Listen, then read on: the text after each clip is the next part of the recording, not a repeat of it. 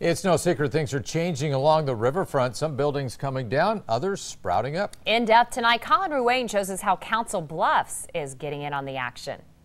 When you're down there, it's pretty visible that something's going on. That's something Mayor Matt Walsh is talking about is change along the Missouri riverfront.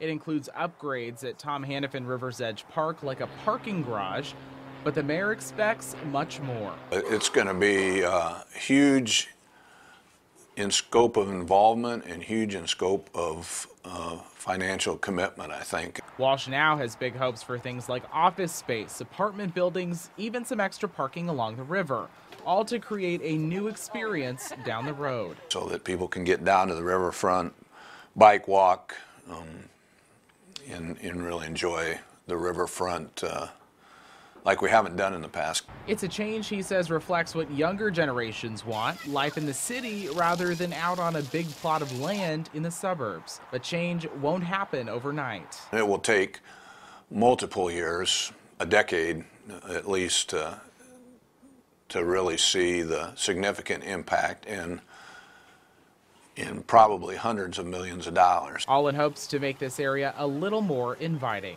In Council Bluffs with photographers Adam Preister and Cody Tromler, I'm Colin Ruane, WOWT 6 News.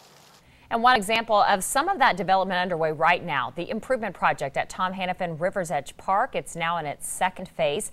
At last check, that phase of the $5.5 million